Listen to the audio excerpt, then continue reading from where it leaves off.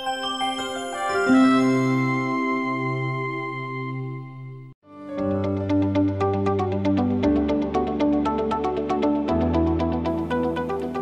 everyone, I am Dr. Pankaj Verma, Senior Consultant, Internal Medicine.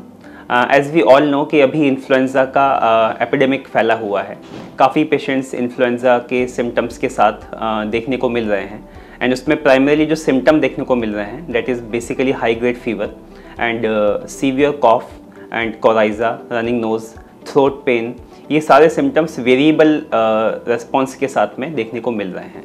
In that case it is advisable कि आप अपने doctor से consult करें and uh, इसका influenza का टेस्ट करवाएँ एंड स्टार्ट मेडिकेशन बिकॉज़ जितना जल्दी आप ट्रीटमेंट चालू करेंगे विद इन फाइव डेज़ तो आपकी रिकवरी है वो फास्ट होगी। Otherwise it is taking time to recover at least twenty days two weeks three weeks तक भी लोगों को रिकवर करने में लग रहा है। एंड उससे हमें करना क्या है? सबसे पहले तो क्योंकि बिकॉज़ ऑफ़ फीवर आपको हाइड्रेशन मेंटेन करना है। Take electrolyte water O R S water along with that take only light meal ज़्यादा हैवी मील ना लें। एंड डाइट का ध्यान रखें। एंड मेडिकेशंस प्रॉपरली कंसल्ट करके विदाउट कंसल्टेशन ना लें। Over the counter medication use ना करें।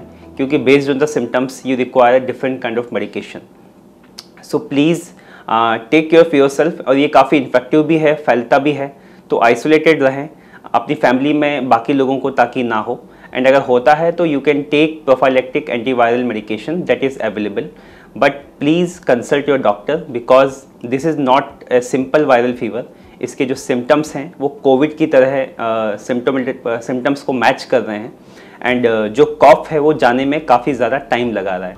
It is converting into bronchitis and chest tightness which lead to more complication so please don't take it lightly and take rest exertion ना करें, ज़्यादा physical activity ना करें. Viral fever का meaning होता है कि आपकी बॉडी को रेस्ट चाहिए। तो इस चीज़ को फॉलो करें मेडिकेशंस को फॉलो करें तो आपकी रिकवरी वुड बी फास्टर